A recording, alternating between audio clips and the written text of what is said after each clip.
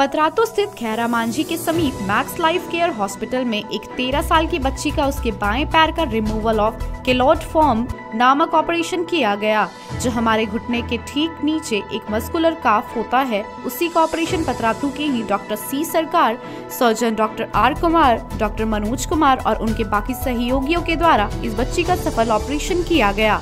इस ऑपरेशन में कुल ढाई घंटे का समय लगा। यह ऑपरेशन इलेक्ट्रोकैट्री और क्वारी सिद्धांत के द्वारा किया गया। उक्त बातें डॉक्टर चंचल ने बताया।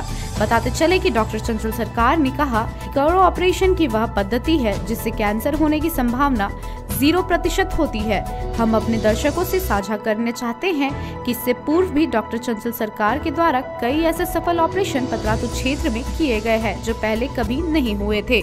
पतरातू से विकास पाठक की रिपोर्ट। मैं डॉक्टर सी सरकार और मेरी टीम मैक्स लाइफ केयर में एक क्लोराइड का सर्जरी कल सफलतापूर्वक किए तेरह साल की बच्ची ब्यूटी कुमारी, सियाल के रहने वाली, जिसको बचपन में लगभग तीन साल पहले चोट लगा था। चोट लगने के कारण एक रॉड का टुकड़ा उसके पैर में घुस गया था। बच्ची ने क्या किया कि उस चीज़ों को इग्नोर किया।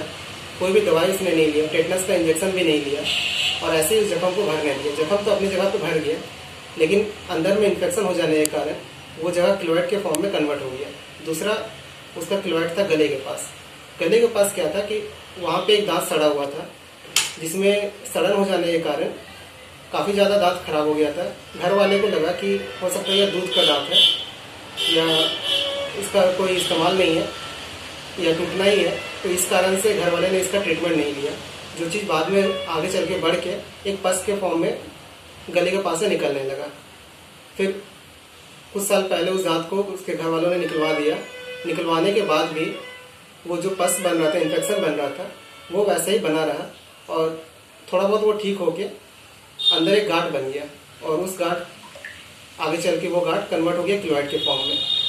हमने इस ऑपरेशन में इलेक्ट्रोपॉटरी की मदद से दोनों ही क्लोराइड को वहाँ से हटाया और उस जगह को साफ़ किया।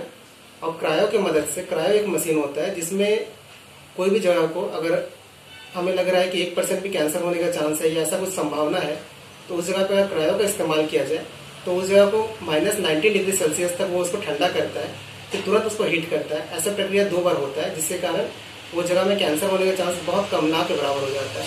और इलेक्ट्रोकॉटिन में क्या होता है कि कोई भी ऑपरेशन में अगर हम लोग चाह रहे हैं कि यहाँ से ब्लीडिंग ना हो, कोई भी ब्लड ना निकले, या ब्लड फ्री फ़ील्ड आए तो उस समय हम लोग इलेक्ट्रोकॉटिन का इस्तेमाल करते हैं।